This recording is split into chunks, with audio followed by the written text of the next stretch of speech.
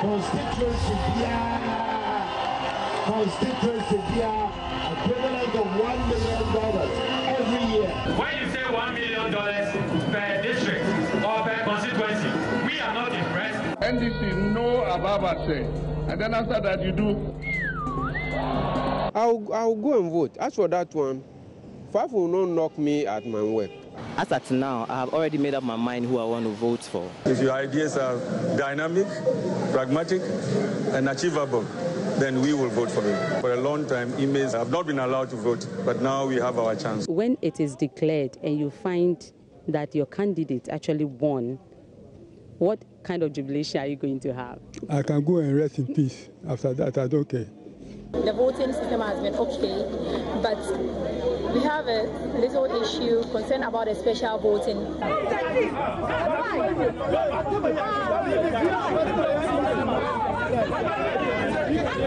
what are you? Hey, take this guy, take this guy away. Take this guy away. 123, 124, 125, 126, 127, 128, 129, 130. If you look at the entire polling stations in the country, 80% have reported their results. And we are confident that the remaining 20% cannot overturn any. So I am telling you on authority from the pink sheets obtained from the polling stations is that this is where the results declared at the polling stations collated together on our own para collation sheets, para vote tabulation leads the election to. And we think it's about time that we call on our opponents to concede and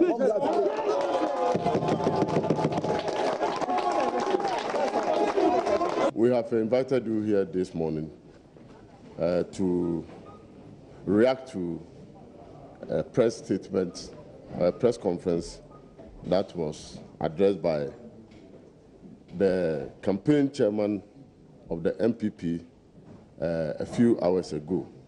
Ignore that press conference because our total tally of votes show a comfortable lead for President John Dramani Mahama. But we will wait for the electoral commission as the law mandates and in line with our decisions at IPAC for the declaration of the results to be done by that legitimate body. The National Peace Council and its partners appreciate the roles played by all stakeholders. We suggest the EC should expedite action on the release of the results. The delay in the release of the results is creating anxiety, uncertainty, needless tension, and unhealthy speculation. The Commonwealth Observer Group has been present in Ghana since the 29th of November. We urge all parties and candidates to allow the Electoral Commission to announce the results of the elections as well as respect the will of the people of Ghana as expressed at the polls once those results have been announced. Let us respect the Constitution. The EC is doing its work. They have released some figures. We have taken hold of those figures. We are doing our own collation and comparing it with the figures we have. But we need to become so that the EC can do its work. We can do our collation. And I want to assure the nation that we will respect the outcome of the election, positive or negative. We just heard from the, the chairperson of the Electoral Commission that she needs more time to be able to complete her work. I think all of us are duty bound to support her and give her that time so that we have a pronouncement that is devoid of controversy and of difficulty. We in the NPP are quietly confident that we have won a famous and historic victory.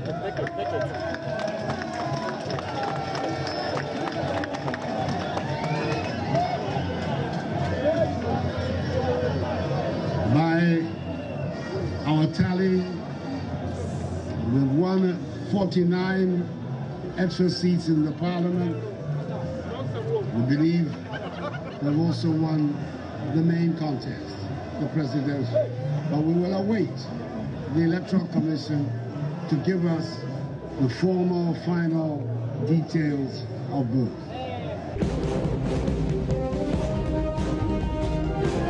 Now, assuming Nana Dankwa Akufo-Addo does 10% lower than his current 52.17% he has done across the remaining 69 undeclared constituencies, he will achieve additional 1,210,716, which is 93,053 more than 50% plus one. What does this mean? We therefore project it is almost statistically impossible for President John Dramani Mahama to achieve 50% plus one. Our projection is that Nana Addo Dankwa Akufo-Addo will win the 2016 presidential election.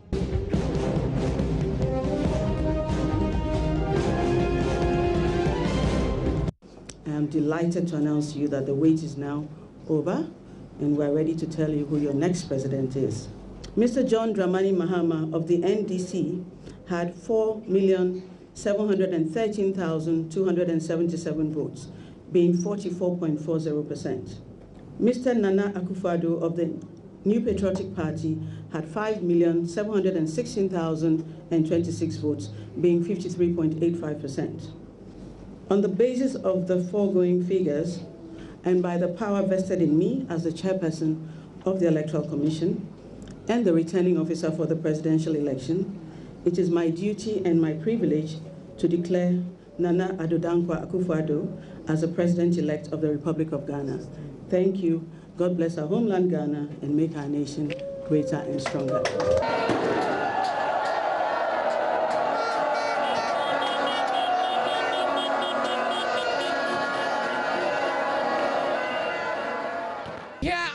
Headquarters of the New Patriotic Party, here at the Asylum Down, and I can tell you that from the junction all the way to this place is shocked. People are ecstatic. The, the environment is full of joy. They simply cannot help but to express their excitement about the victory of their flag bearer Nana Dankwa Akufo-Addo. We'll be going inside to find out what the situation looks like and bring you the excitement, the reaction from the people. We are so happy. We are so happy. This is our victory. We've talked for so long. We've been in opposition for eight years. They said oh, all manner of things about Nana Addo. Some said Nana Addo can never become president. Some said he has been cursed. There's no way Nana Addo can become president in Ghana. But we have proved to them today the people of Ghana have spoken. They said they want Nana Addo. They can see a visionary man in Nana Addo. Nana Addo is coming to bring future. There's going to be opportunity for the young men and women. Now we're going to have a hope. Our hope is now back alive. We have a new president. Nana Addo Dankwa Akufo-Addo. What do you make of what is going on? Oh, we want change. We want change. You, you want change. Why are you why are you excited? Well, I'm excited because free education is coming. Free education is coming. That's your expectation of the president-elect. What more are you expecting from him? I'm expecting more. I'm expecting more. Okay. And so that is, uh, how old are you, by the way? Uh, I'm 16. You are 16 years old. And so uh, he is not an electorate, but he's excited because uh, the president-elect promised that he's going to bring about some free education. Uh, what do you make of what is happening here? Free education. Free education. Free education. That is your understanding of what is happening. Okay, so it is all about free education right here at the headquarters of the New Patriotic Party.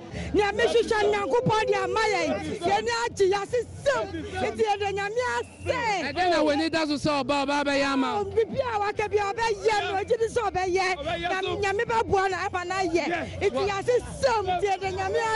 Well, she believes that whatever the president-elect has promised, he, uh, he is going to fulfill his promise. And so uh, they are very much excited about it. Uh, let me speak to him as well. Free school dino, you better free. School dino, you better free. You better free. Free.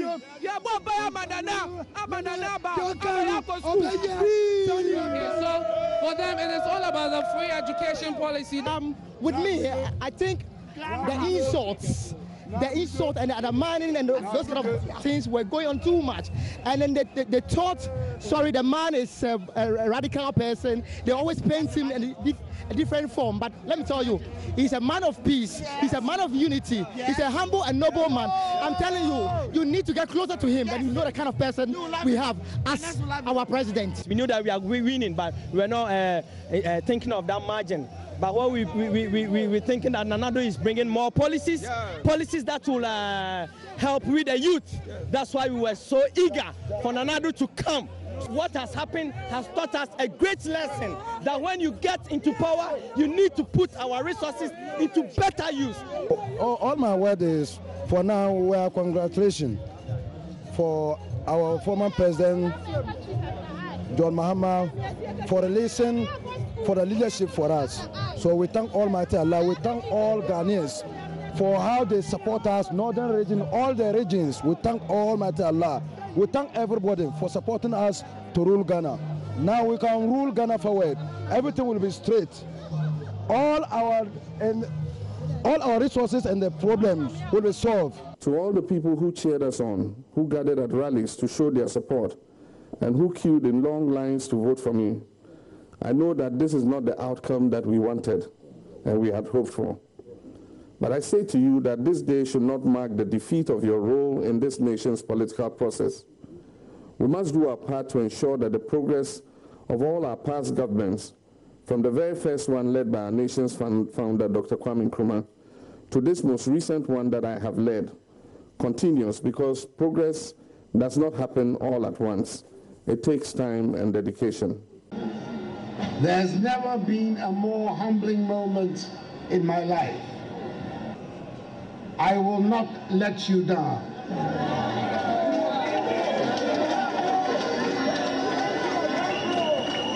And will do all in power to live up to your hopes and expectations. You have not elected me to serve one party, but to serve the entire nation. The president of Ghana is president for every single Ghanaian without discrimination, malice, or ill will to any ethnic group or political or religious affiliation. Whether you supported me or not, whether you campaigned for me or not, whether you voted for me or not, I can promise you one thing. I will do my best to serve your interests and put our country back on the path of progress and prosperity.